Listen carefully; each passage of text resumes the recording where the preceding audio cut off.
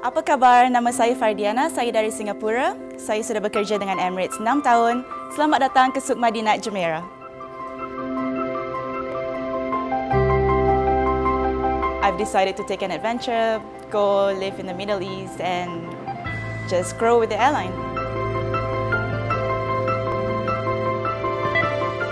First, you apply online and they invite you to the open day and there's three interview processes which uh, features a lot of group interactions. And you just go with the flow and they tell you if you're accepted for every round. And then after a final interview you wait about a month and then they call you. You can go eat at nice restaurants with discounts, go to the beach, get lots of discounts and meet lots of people.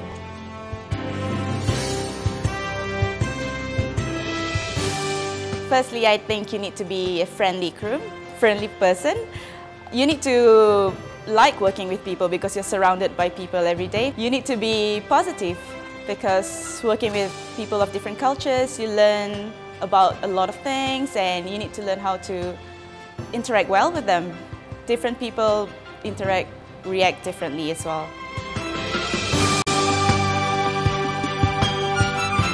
Make sure you have good deportment, poise, groomed, very well groomed.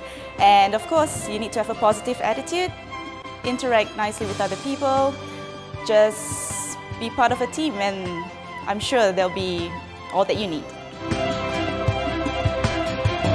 I'm 1.6 meters tall. That's not very tall actually. But as long as you can get a reach height of 212 centimeters on your tiptoes, you know, just reach your hand up and you'll be fine. Well, Emirates fly to Singapore four times a day. So it's a lot of flights and I get to bid for those flights. I get to swap with my colleagues and I get to fly home pretty often. Um, however, if I don't get any of those flights and I have three days off, I'll just get a cheap ticket and I can fly home anytime I want. Well, I have two passions in my life, the beach and food.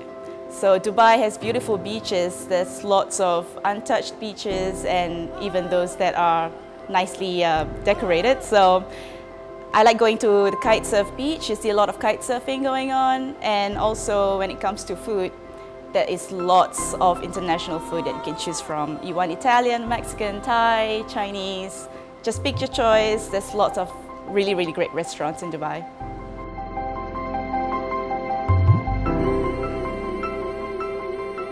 It's very exciting every month to wait for your roster, knowing where you're to go next. And when you get your roster, you jump for joy because there are some places you've never been and some places that you loved and will visit again. So you really look forward to your roster every month.